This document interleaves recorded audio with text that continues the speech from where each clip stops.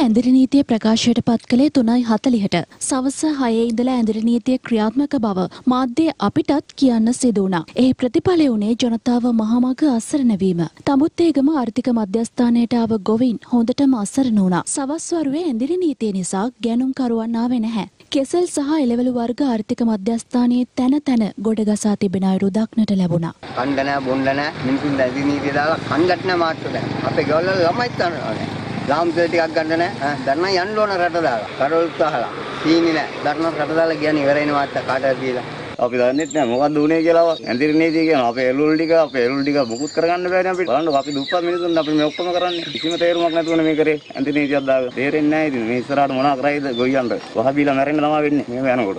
මම මිරිස් ටිකක් අරන් ආවේ. ඒ කැඩුවා ඉතින් උදේ කන උදේම අපිට මේ පණිවිඩ දෙනවා නම් අපිට අනිවාර්යෙන් මේ මේවා නතර කරන්න හරි පුළුවන්. මේ කට්ටිය මේ දවල් එකට දෙකට පණිවිඩ දෙනකොට අපි අරගෙන මිරිස් කඩලා. ඒතකොට කොහොමද අපි මේවට විකුණන්නේ? ඒක ඉතින් මේ පාලකයෝ දැනගන්න මහනුවර කටුගස්තොට මැණික් කුඹර ආර්ථික මධ්‍යස්ථානයේ තත්ත්වය ඒකමයි. රාජපක්ෂ ආරක්ෂා වෙන්න මේ අදිරි දැම්මාම අනිත් මිනිස්සු ආරක්ෂා වෙලා නැහැනේ. ඔය අනාථ වෙලා එළවලු ගෙනා මිනිස්සුන්ට අඩු ගන්න ක්‍රමයක් නැහැ. කරන අපරාධයක් තමයි මේ කරලා තියෙන්නේ. අද කිලෝ ලක්ෂ දෙකක් විතර මේ මාකට් එළවලු ඇවිල්ලා තියෙනවා. අඩු ගන්න කිසිම වෙලෙන්දෙක් ඇවිල්ලා නැහැ. ඉතින් මේවා ඉතින් කරන්නේ Taman රැකෙන්න කරාට අනිත් මිනිස්සු රැකෙන්නේ නැහැ. හැම මිනිහෙක ඉතින් මේ එළවලු වල ලක්ෂ ගාණක් මේ වෙලෙන්දන්න පාඩු ලබන්න තමයි වෙලා තියෙන්නේ. ඊයේ හැන්දෑ පහෙන් පස්සේ තමයි අපි දන්නේ මේ ඇඳිරි නීතියක් දානවා කියලා. එතකොට හැන්දෑ පහ වෙනකොට දට විකුණන්න ගොවියෝයි අපි සල්ලි වලට ගේන එළවලුයි ගොවියෝ එළවලු හදලා නේ තියෙන්නේ. මේවා දැන් ගෙනල්ලා මේ බලන්න මොකද කරන්න කියලා මේ ලක්ෂ ගාණන් වල එළවලුනේ. අපිට මේවට දෙනවද රජෙන් දෙනවා. පොහොර මිටියක් 18 10 20000 දීලා හදලා තියෙන එළවලු. මේ වගේ නම් මහා අම්මන තීරණ. හෝර මුදලවත් ගන්න බැරි වෙනවා මෙහෙම ගියොත් දවසක් යනකොට මේ ඔක්කොම නාස්ති වෙලා. අනාථ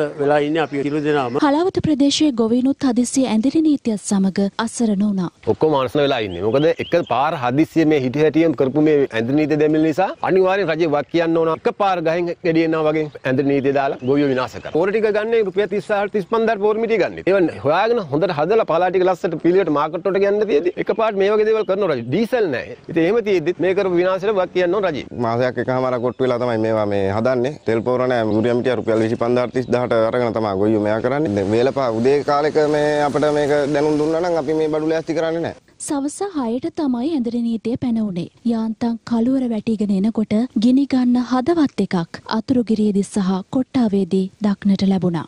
උදේ ඉඳලා දරලිපේ ගිනි කාලා කඩල කිලෝ 10ක් තඹ ගන්නවා. ලුණු පොල් කෑලි කපාගෙන අඩිය ගෙවෙනකන් කඩල කරත්තේ තල්ලු කරගෙන තැබෑරුමක් ළඟ නතර වෙනවා. කඩල කිලෝ එකක් රුපියල් 450ක් විතර වෙනවා. රෑ 9 10 වෙනකොට තමයි රුපියල් 2000ක ලාභයක් උපයාගන්නේ. ලාභය කිව්වට ශුද්ධ ලාභය නෙවෙයි. හදිස්සියෙම ඇඳරි නීතිය වැටුණා. කඩල කිලෝ 7-8ත් එහෙමම ඉතිරි.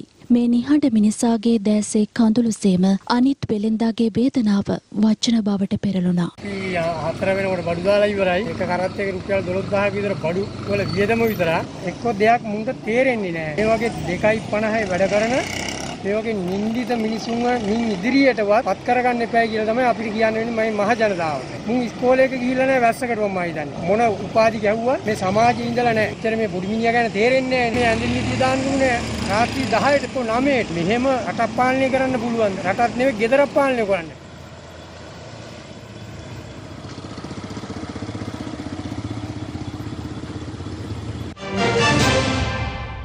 දෙනපතා අලුත් වීඩියෝ සහ ප්‍රවෘත්ති නැරඹීමට ඉහත බටන එක කලික් කර සියත TV සබස්ක්‍රයිබ් කරන්න.